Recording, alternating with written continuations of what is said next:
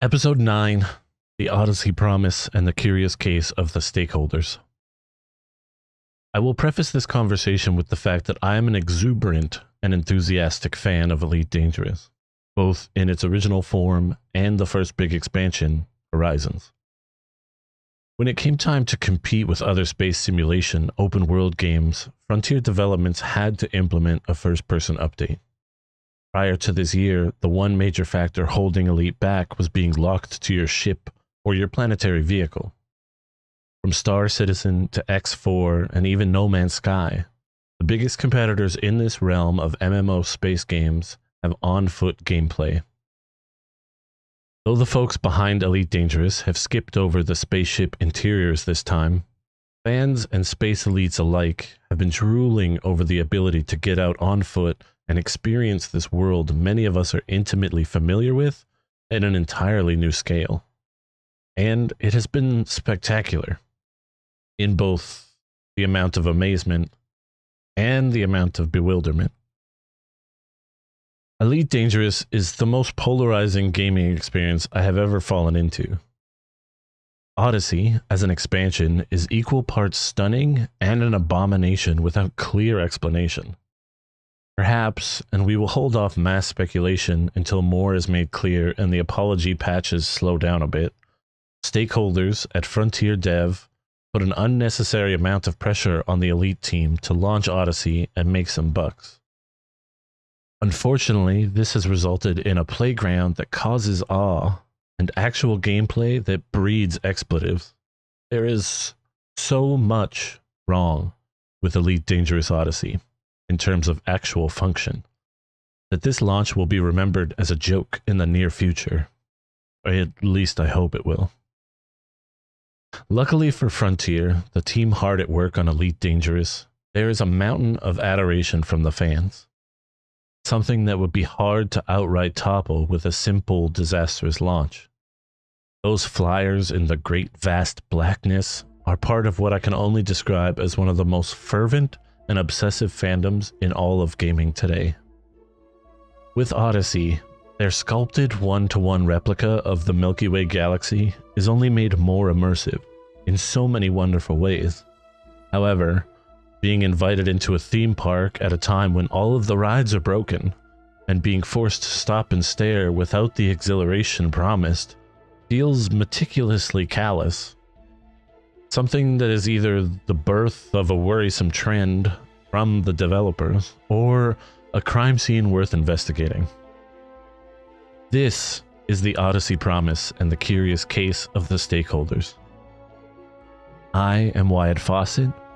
Welcome to the First Byte.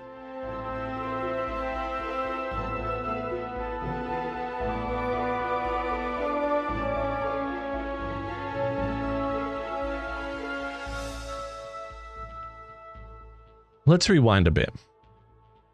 Even though I could easily state that Elite Dangerous is one of my favorite games of all time, and the base game released for Windows PC back in December 2014, I only recently played it for the first time in February of this year. I was on the hunt for something to dive into fully.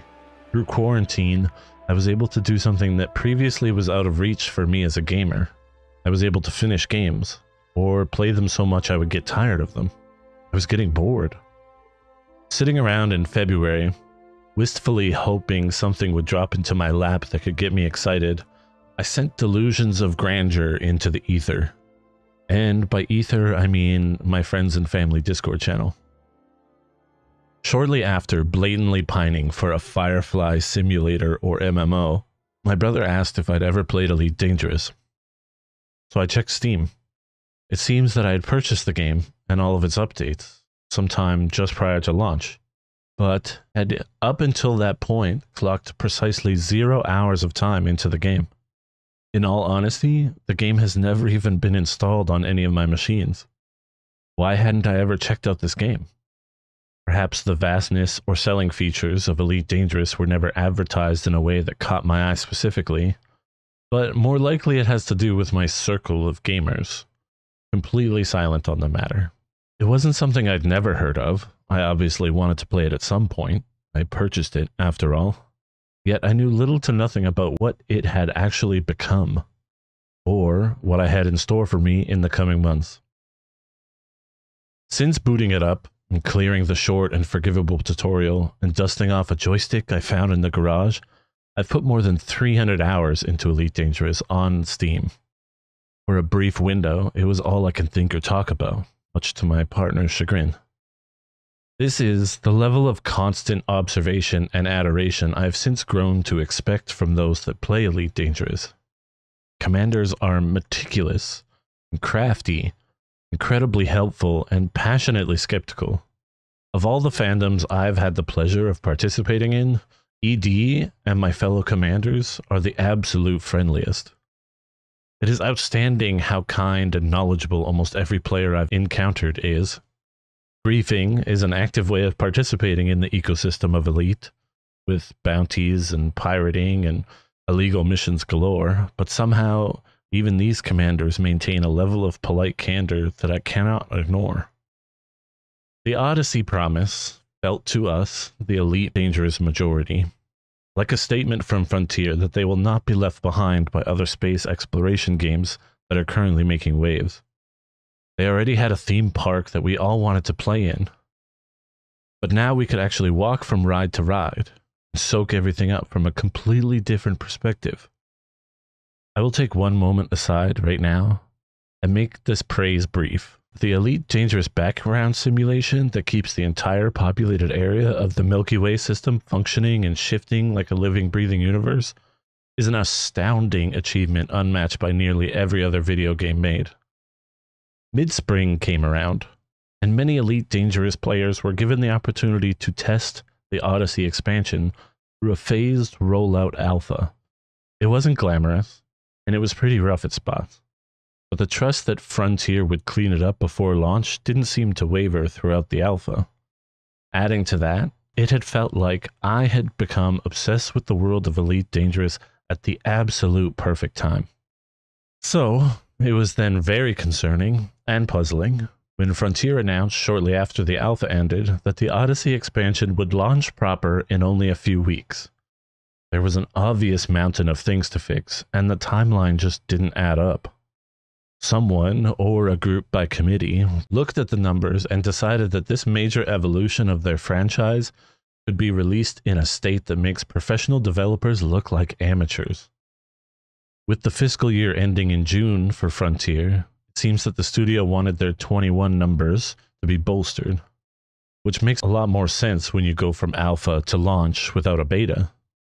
Though I wouldn't have been upset if this current build of Odyssey had been released as a working beta. And I'm almost certain that there's a level of disdain within the walls of Frontier towards whomever made the call to launch in this state. Frontier has recently stated that a roadmap for development on Odyssey is on the way, but fans and players alike are maintaining the idea that development and patches will be rolling out for Odyssey all the way up until the launch of this expansion on consoles later this year. In its current state, the general sentiment from nearly every player I've interacted with is this don't do missions, don't spend too much money, and don't engineer upgrades. Not yet. Just have fun with this new perspective and continue to hold out hope that eventually this thing, this amusement park that shouldn't have been opened yet, will get all of their attractions in order. What hurts the most is the promise, even in smallish doses. Escapism and inundation provided by the universe of Elite Dangerous is drastically multiplied with on foot experiences. Just yesterday, I took a mission to turn on the power at an abandoned mining facility. I would need to bring the supplied power unit to the planet, find the facility, land, walk around on foot until I discover where the power building was, then restore it to working order. Job done. After finding the power building, I was met with locked doors because the facility didn't have power, duh. And I needed to cut through access panels, overload the door locks, and get inside. Once I entered the building, I was awash with a certain, nearly indescribable amount of fear and intenseness thanks to a pitch black building and Frontier's consistently immersive sound design. It was spooky to say the least, but I felt badass, capable, and completely immersed in this moment. Once the power battery was back in the housing, I used an e breach to reboot the main systems and to close the battery drawer. And I immediately started to panic, thinking about potential threats that are now on their way. The lights were on, the machinery was whirring, someone was bound to notice, so I bolted. Just as I was getting to the steps of my newly purchased Mamba, shout out to Zorgon Peterson, I turned to see three ships landing. Were they hostile? Were they friendlies? Maybe it was the miners returning to their town. Regardless of who was showing up now, I wasn't about to stick around and find out whether they liked me or not. So I hopped in my cockpit and I took off. Back to the interior station I accepted the job from and handed in the completed task at one of the dozen terminals inside. All in all, this journey from start to finish is the exact thing I want from Odyssey. Hell, it's near to the exact addition to the elite recipe most players want. Unfortunately, the exhilarating future this promises for a video game that many people already love means that every moment the game doesn't work as well as it should, sometimes in completely baffling ways, hits that much harder.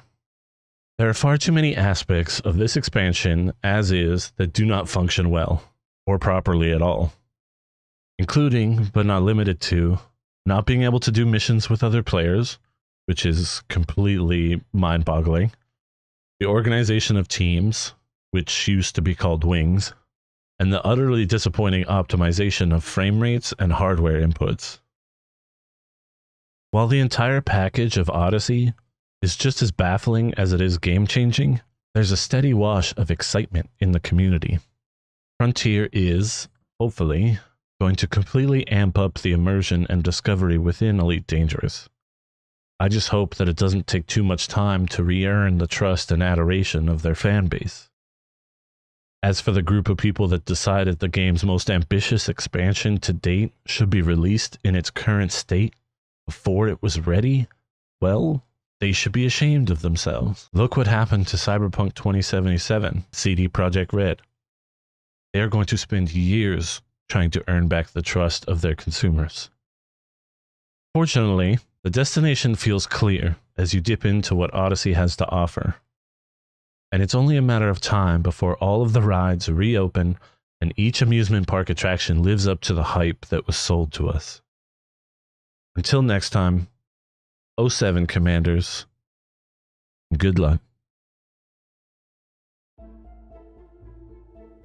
Thank you so much for uh, checking out the show. I really enjoy writing it and I enjoy reading it and editing it and talking to people about it after the show airs.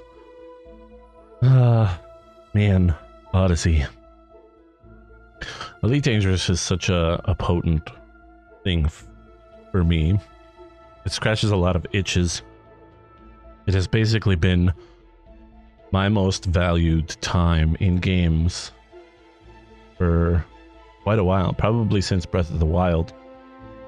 It, it it has so much that I want to learn and I want to do, and it doesn't hold your hand and just lets you go out there and pick a direction and swim. And I think that that's a grand and beautiful thing. The immersion that you feel uh, going out on foot. I mean, even before Odyssey, the immersion immersion that you feel, felt in Elite Dangerous was almost unmatched by other games. Just sitting in your ship, turning off the engines floating there in space is one of the most glorious and beautiful moments in gaming that I've ever had. And for us to get so excited about Odyssey, participate in the alpha, hoping that Frontier takes all of this criticism and issues and fixes them before launch, only to be basically given the same version of the game as was in the alpha is heartbreaking, but there's a lot of time and effort friends and family made inside the walls of Elite Dangerous, so I don't think it's going to kill the series or the game. I just hope that Frontier does the work that they have to do in order to re earn, re establish a trust with the fans even if it was some higher up in some boardroom full of stakeholders that decided to release the game, it's so frustrating to have to defend this game that you love to a bunch of people who are trying it for the first time in its current state. And you know i found myself promising that it will get better because i know the state that elite dangerous was in before odyssey was worth it and was beautiful and and functioned almost perfectly it obviously has its problems here and there but having to defend frontier's reputation for them to friends who are jumping in for the first time has been a little bit exhausting, but I'm having a great time kind of floating around and exploring. Um, and I hope you all do too. Elite Dangerous means a lot to me, and I really wanted to write about this experience um, of the Odyssey launch. And I hope that you guys come and say hi to me on social media. You can find me on Twitter at Wyatt Fossett. It's the best place to say hi and chat video games. Feel free to share this show, whether it's on Google or Apple or Spotify or any of the platforms that take RSS feeds from other sites and post them on there. It would mean a lot to me I really love doing this, and I am always excited to talk with people who listen to the show every week. And I hope that next week will be another fun one. Till then, thank you so much for listening. I appreciate all of you, and I will talk soon.